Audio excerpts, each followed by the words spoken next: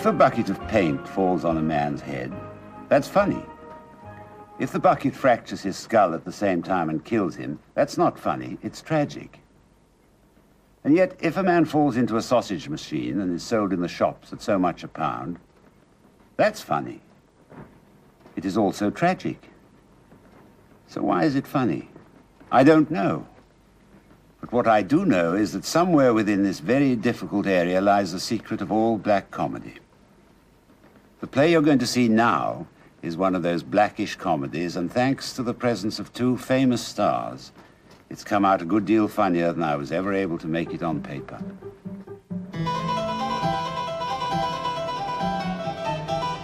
Lady Turton, who ran her husband's newspaper Empire as aggressively as she ran his house in Norfolk, didn't know that Sir Basil had invited an extra guest for the weekend, John Bannister.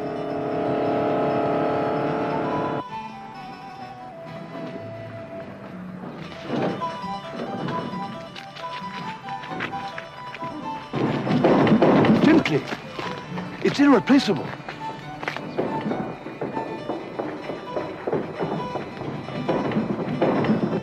Jill, Milady, what is going on? Basil! Basil! Have you gone out of your mind? hello, my dear. What on earth is this tradesman's van doing at the front? My latest acquisition. Quite wonderful, Henry. Basil! What will my guests think? Really, Basil, you've no style. No style at all.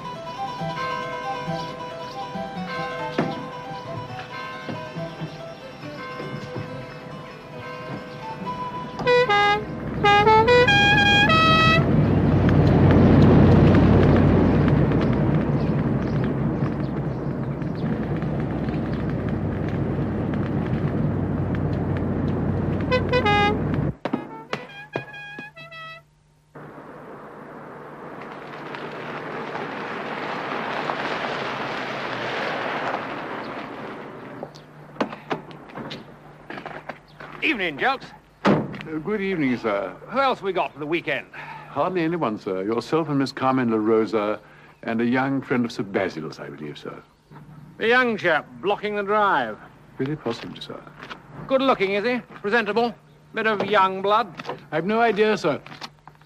You will find Lady Turton in the library, sir. Thank you. Send up my bags, will you? I'll change first.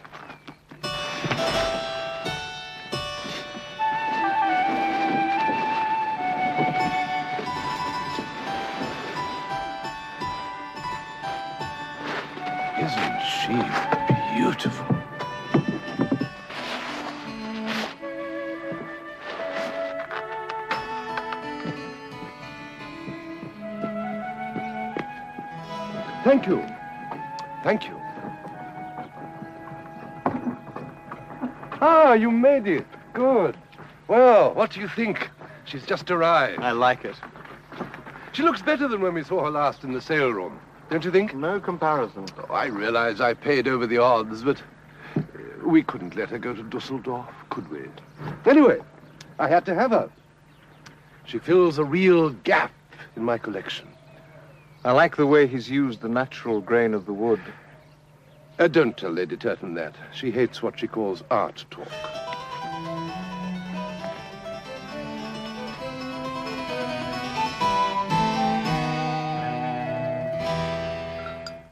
Can't imagine what he was doing, young idiot.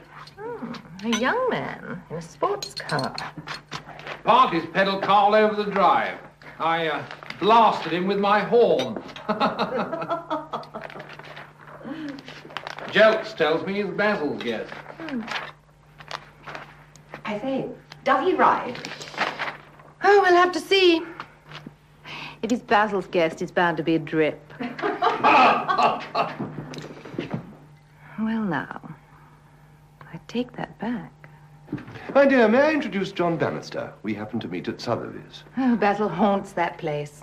Every honest penny I earn, he spends on art. How do you do? How do you do, Lady Turton? Oh, Natalia, please. Basil, do get this presentable young man a drink. Come. Allow me, sir. Carmen John, Carmen La Rosa. How do you do? Are you horsey? Not really, no. Oh, then we won't have anything to say to each other. What do you do? I'm an art historian. Oh, oh my God, how awful for you. Jelks, get me another martini. I've just met an art historian. Oh, I think you've met Jack, Major Haddock. In a way, yes.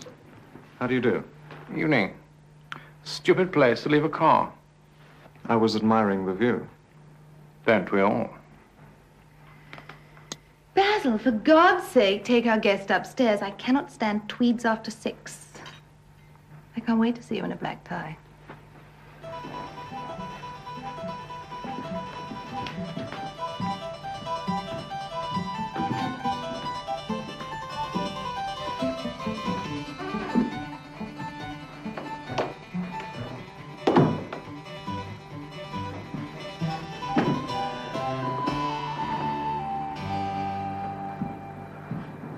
There's an admired view of the garden, sir.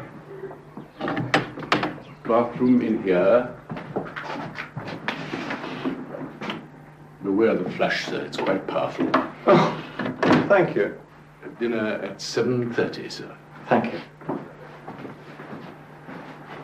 Don't bother with the... Uh, No bother, sir. but that catch is rather tricky. I seem to have got the better of it, sir. Look, there's hardly anything to hang up. I just threw in a few things. Quite, sir. Just a weekend bag. Look, really, I'd rather you didn't. Um, Do you play bridge, sir? yes, sir. as a matter of fact, I do. Ah, well, then you'll be doubly welcome here, sir, believe me. They play a lot of bridge, do they? Uh, yes, sir, and poker, and gin rummy. But Sir Basil prefers bridge. I see you favor the modern approach to evening dress, sir. What? Snap on, snap off. It, it, it's a bit creased. You laundered it yourself, sir? It's drip dry. Quite. I can't wear man-made fabrics myself. I find the static electricity it generates inconvenient. One tends to give off blue flashes in the dark. That will be all, Jelks. But, but your pumps, sir. Pumps? Your evening footwear, sir, they may require polish, possibly. No. No, they're fine, really. Very well, sir. I'll just leave you to it, then. Thank you. Thank you, sir. Yes, of course. I never accept emoluments, sir. No tips. If I might offer a little further advice, sir, Yes. it's, it's simply that her ladyship does somewhat tend to overbid her hand. Thank you, Jelks. Oh, one further point, sir. At dinner, Yes. her ladyship's right foot doesn't always seem to know what her left foot is doing. That will be all, Jelks. I sincerely hope so, sir. So, what exactly do you specialize in as an art historian? Uh, the Renaissance. Hmm. Basil used to call me his uh, Memling Madonna. But I always saw myself more like that. The telephone, milady. Oh, what a bore. Who is it? The editor of the Sunday Globe, milady. I am a slave to Basil's inheritance. Now, his father. What a magnificent man he was. Basil, wasn't your father a magnificent man? Yes, dear. Very forthright. Like you. Hmm, brilliant. Built an international newspaper empire out of the coarse fisherman's gazette. Such animal magnetism, even on his deathbed. But does his son take after him? Well, The editor is waiting, milady. He needs to know how many nudes you require for the front page of the Northern edition, milady. thank you, Jelks. I shall tell him to think big. Amazing woman, one. One for the book, eh? Yes. Tell me, what do you think of Basil's art collection? Load of rubbish? Quite the reverse. Ah, I don't know what you chaps see in it. Well, for a start, it must be worth millions. Really? Well, let's put the fear of God into him. Oh, Basil, haven't you finished eating yet? He is the slowest eater in the world. Nibble, nibble, nibble. Thank you, Jelks. Tell Cook the poached salmon was abominable. With pleasure, milady. I know how she values your opinion. Splendid, I feel very relieved. Well, what's it to be tonight? Gin rummy? Liar dice? Strip poker? Bridge. One spade. Three clubs. Three hearts. No bid. Three no trumps. No bid. No bid. No bid. Must you always bid three no trumps, Basil? It makes the game so dull, so so unadventurous. Not if one wins, dear. What's the idea, man? I didn't ask for another scotch. No, sir, but as things are looking, you may well need one, sir. Are you still losing?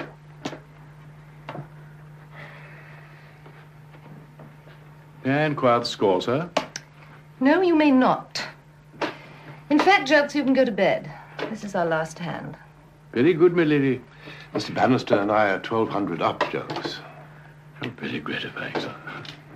Good night, sir. No go. It's all yours. We overbid, Natalia. I've told you before. Oh, Jack, no postmortems. You know I can't stand postmortems. Basil, since winning's obviously worn you out, I suggest you go to bed too. I'm rather tired, dear. We'll settle in the morning,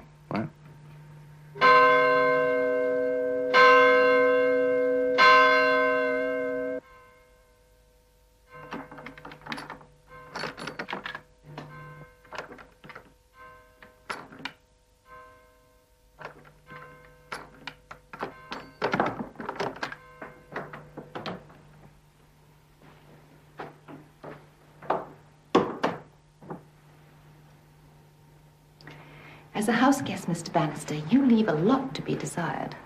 Do I? Hmm. Beating your hostess at bridge, Jack's furious, and then locking your door.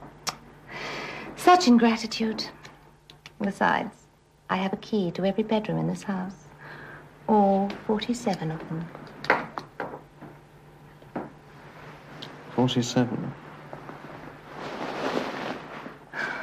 Striped pajamas. I'm cold blooded. Oh. And a bow. How sweet. How old fashioned. Just uh, think of this as your bread and butter letter, darling. Written in advance.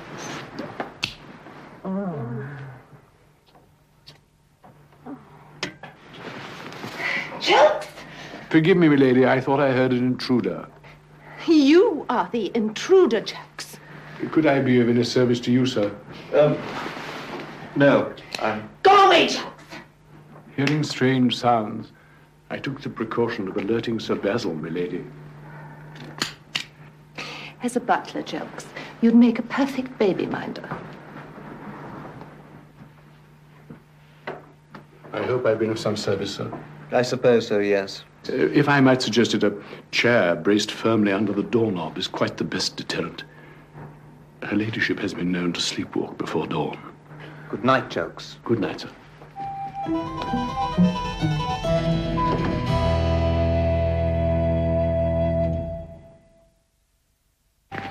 When my father died, I was taken rather by surprise.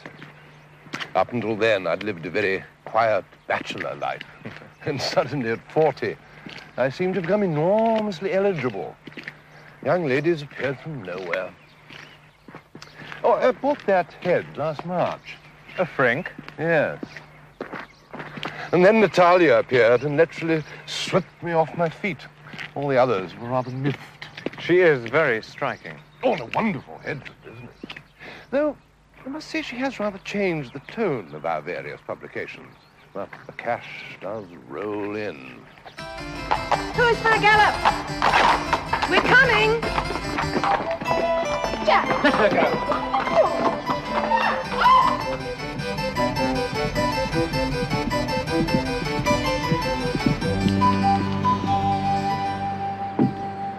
Did you sleep well last night? Eh? Yes, eventually.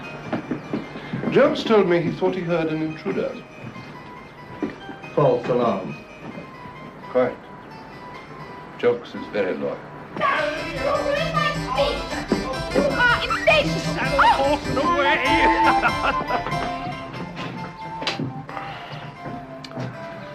Oh, I love this place. Every inch. Yoinkty, yoinkty, yoinkty! oh, look. This is Basil's new mouthpiece. Isn't it? What's the dicky bird? Take one like this. Oh, that's very good. Tally ho. Shall we go down? Uh, it's very pleasant here.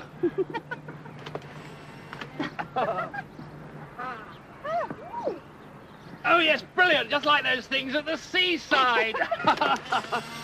How is it? oh, it's bloody marvellous. Idiot. Got you. How now, my proud beauty? Mm. Oh, Natalia finds everything so amusing. Jack, I'm stuck. it can't be. I am. Oh, rubbish. What goes in must come what Jack, do something. Oh, flatten your ears back. I am not a horse, damn it. Oh, dear. Ow! Ow! Ah! Ah! Ow! What is it? N- Natalia's stuck. Uh, We'll, we'll get something quickly. Butter, lard, anything. I got my fist stuck in a jar of boiled sweets once. Couldn't get it out. Finally, I broke the jar with a hammer and told my mother it fell off the shelf by mistake. I suppose we ought to help, really. Stop it! I suppose so, yes. Right. Uh, cigarette? Uh, Virginia, this side, Turkish, that. I don't, thank you. I do. I think a Turkish. What look, are you better, doing? better take the jacket off.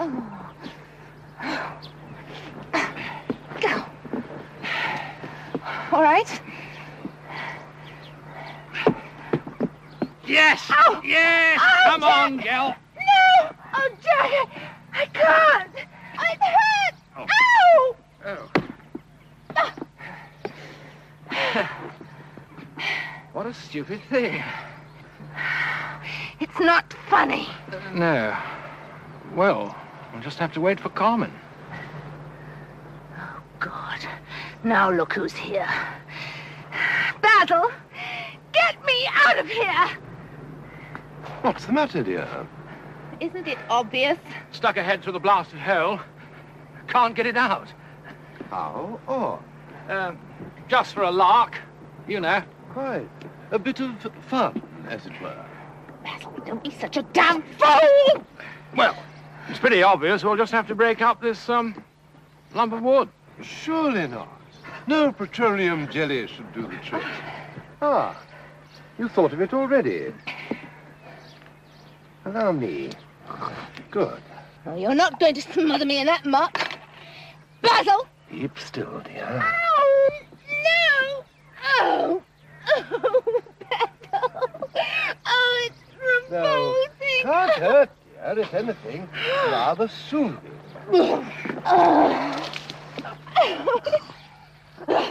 Oh! That's right, on the ears. Uh, plenty of the ears. Oh, oh, how dare you! Oh, this is so humiliating. Oh, Basil. Oh, look at you. You're enjoying this, aren't you? You beastly little rabbit of a man. Oh, reckon my old ferret'd get her, eh? Block and tackle, that's the answer. poor madam. Try now. A good, strong pull from the hips. Oh, oh, I must look ghastly. Oh, Uh, it's no go. We must straighten her out. You take the left leg. You two. Come on. Now, You take the left. That's right. Both of you. That's right. Up. Now. Ready. Steady. Go.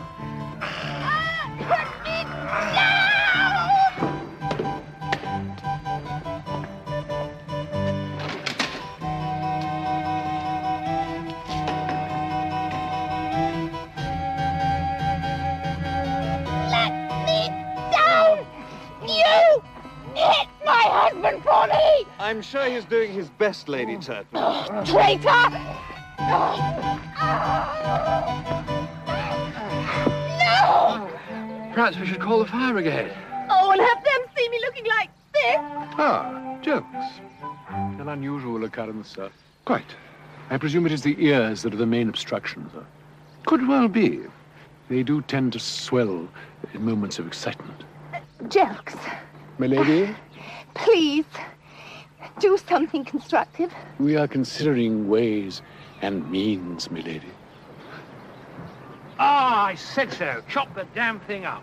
Chop up a masterpiece. No question, man. All right, Basil. Come on, get on with it. Your ladyship is right, sir. No time like the present, I always say. The saw or the axe, sir?